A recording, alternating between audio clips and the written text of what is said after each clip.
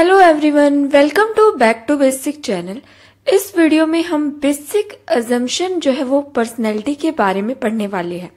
हमने बहुत सी personality theories के बारे में पढ़ा, जिसमें हमने फ्रॉइड पढ़ा मरे पढ़ा इरिक फोम के बारे में पढ़ा अल्पोर्ट के बारे में जो है इन सभी की थ्योरी देखी और इन्होंने जो है एक बात बताने की कोशिश की कि एक व्यक्ति की पर्सनैलिटी किस तरह से जो है वो डिफाइन होती है, किस तरह से वो बनती है?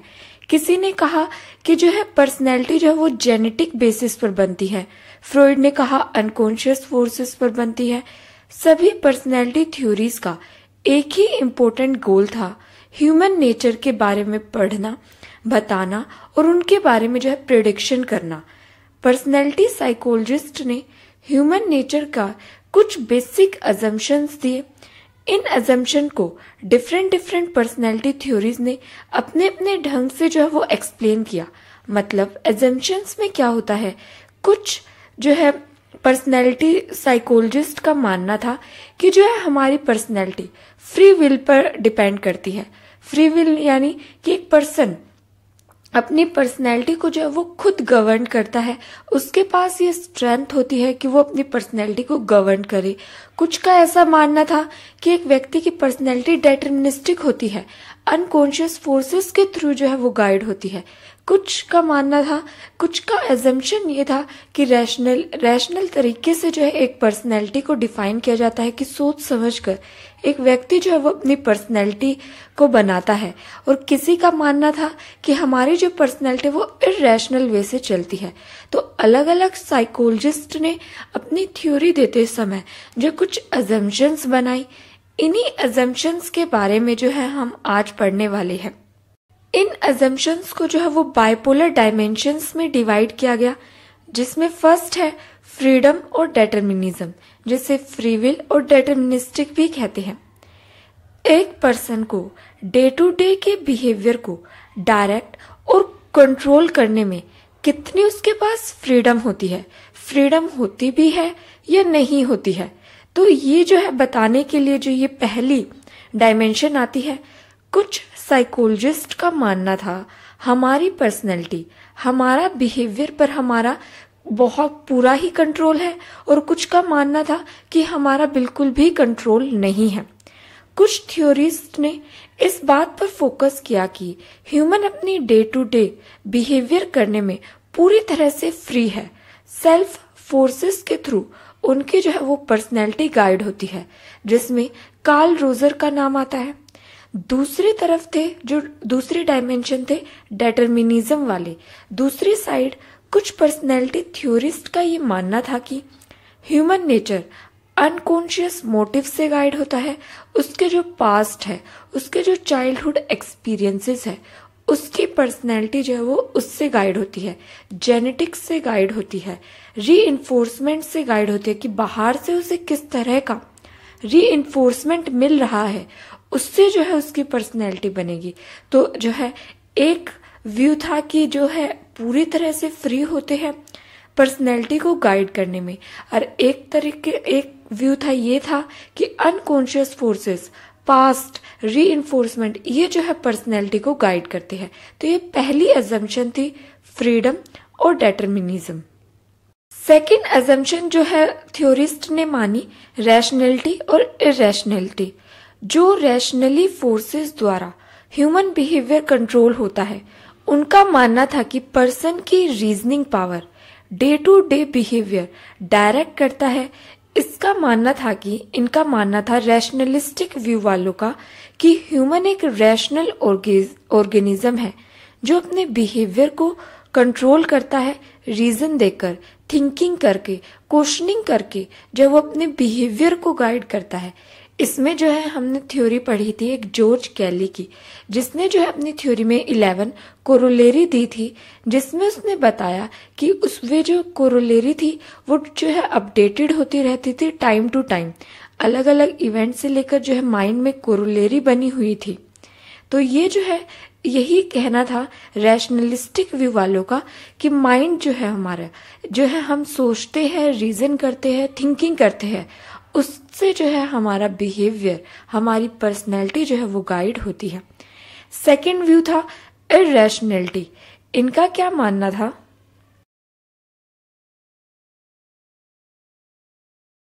इरेशनलिटी वालों का मानना था, कुछ ऐसे थ्योरीज थे जिनका मानना था ह्यूमन बिहेवियर इरेशनल फोर्सेस के थ्रू डायरेक्ट और कंट्रोल होता है। ऐसे इरेशनल फोर्सेस जैसे unconscious past experiences childhood experiences कोई जो है पास्ट में ट्रोमेटिक इवेंट हुआ हो तो इस तरह के कोई भी रीजन थिंकिंग या जो है क्वेश्चनिंग नहीं की जाती। ह्यूमन का बिहेवियर इरेशनल फोर्सेस के थ्रू जो है वो गाइड होता है। इसमें जो है सबसे पहले रखे जाते हैं फ्रॉइड जिनकी पूरी थ्योरी ही अनकॉन्शियस के बेस पर थी।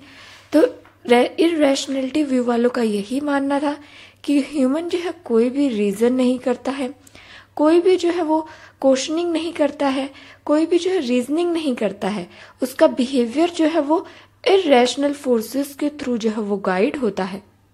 थर्ड डायमेंशन थी होलिज्म और एलिमेंटलिज्म इनका व्यू था होलिज्म वाले डायमेंशन का व्यू था। ये मानते थे, इनकी ये एजम्पन थी ह्यूमन बिहेवियर को एक्सप्लेन करने के लिए। पर्सन को जो है वो संपूर्ण रूप से होल में समझना ज़रूरी है। जो है, किसी भी पर्सनैलिटी को, किसी के बिहेवियर को जो है वो पार्ट्स में नहीं समझा जा सकता। उसे जो है वो पूरी तरह से होल में समझना होगा। तो ये जो है वो होलिज्म वालों का मानना था, जिसमें हमने गेस्टाल्ट साइकोलॉजी के बारे में पढ़ा था। उनका मानना था कि चीज़ों को होल में हम समझते हैं। एलिमेंट में या जो है स्मॉल स्मॉल थिंग्स में जो हमें पूरा कंसेप्ट क्लियर नहीं होगा। अगर हमें किसी पर्सन को समझना है तो उसके हर पार्ट को समझो। उसके जो है कोग्नेटिव एक्टिविटी कैसी है बिहेवियरल एक्टिविटी जेनेटिक्स सारे होलिज्म को समझो। तो ये जो है मानना था होलिज्म डायमेंशन का। सेकंड एजम्पन थी एलिमेंटिज्म जो इसका सेकंड व्यू है। इनका मानना था ह्यूमन बिहेवियर को। सिस्टमेटिकली स्टडी किया जाना चाहिए। एक ह्यूमन जो है बहुत वास्ट होते हैं उसका बिहेवियर पूरे को जो है वो स्टडी करना पॉसिबल नहीं हो पाएगा। अच्छे से स्टडी भी नहीं कर पाएँगे। इसलिए ये अच्छा होता है कि किसी के बिहेवियर को, किसी की पर्सनैलिटी को ब्रेक में समझे। स्मॉल स्मॉल पार्ट्स में आप समझे। तो ऐसा जो है मानना था एलिमेंटलिज्म व्यू वालों का।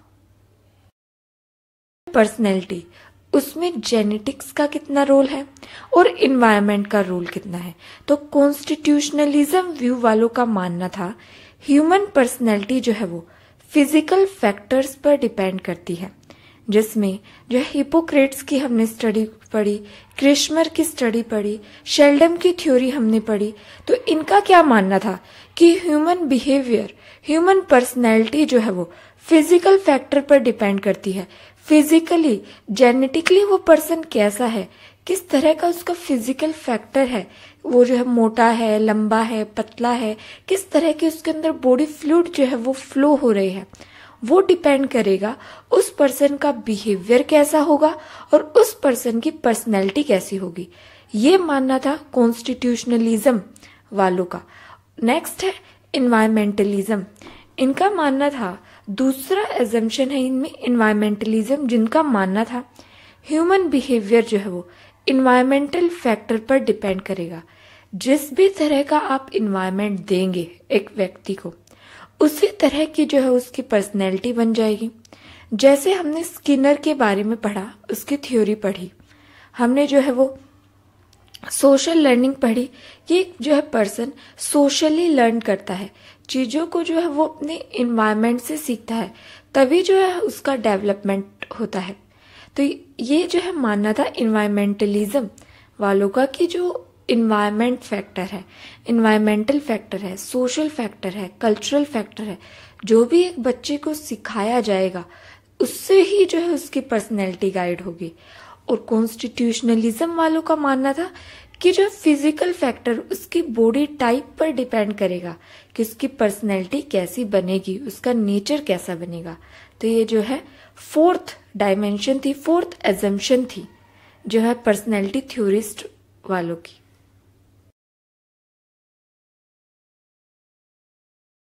नेक्स्ट डायमेंशन है सब्जेक्टिविटी और ऑब्जेक्टिविटी क्या पर्सन सिर्फ़ सब्जेक्टिव एक्सपीरियंसेस से इन्फ्लुएंस होता है, या ऑब्जेक्टिव एक्सपीरियंस से भी इन्फ्लुएंस होता है। सब्जेक्टिविटी डायमेंशंस का मानना था। जैसे इसमें देखिए कार्ल रोजर कार्ल रोजर की पर्सनैलिटी थ्योरी में बताया गया पर्सन जो है वो अपने इंटरनल एक्सपीरियंसेस उसके खुद के साथ, उसके खुद के क्या एक्सपीरियंसेस है, उससे जो है वो इन्फ्लुएंस होकर उसकी पर्सनैलिटी में कोई चेंज आएगा। ऐसा जो है वो कार्ल रोजर जो सब्जेक्टिविटी के जो है वो सपोर्ट करते थे कि ह्यूमन के जो भी इंटरनल एक्सपीरियंसेस होते हैं, उससे जो है उसका बिहेवियर गाइड होगा, उसकी पर्सनैलिटी जो है वो गाइड होगी। लेकिन दूसरी तरफ़ स्किनर ने बताया कि ऐसा नहीं है। एक्सटर्नल फैक्टर ऑब्जेक्टिव फैक्टर जो वो इन्फ्लुएंस करते हैं किसी की पर्सनैलिटी को। जैसे कि कोई रिवॉर्ड हो गया, जैसे कि मनी हो गया फ़ूड हो गया।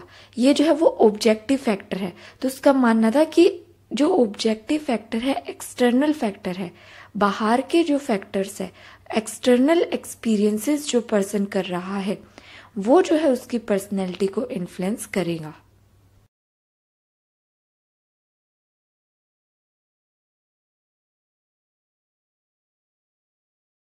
फिफ्थ डायमेंशन थी चेंजेबिलिटी और अनचेंजेबिलिटी यह एजम्पन बताती है कि एक व्यक्ति का बिहेवियर उसकी पर्सनैलिटी चेंज हो सकती है या चेंज नहीं हो सकती, वो स्टेबल होती है। तो ये जो है दो पॉइंट ऑफ़ व्यू थे, जिसमें जो है इरिक्सन की थ्योरी में हमने पढ़ा, उसका मानना था कि अलग अलग स्टेजेस होती है पर्सनैलिटी की। अलग अलग स्टेजेस में एक व्यक्ति की पर्सनैलिटी ग्रो होती है।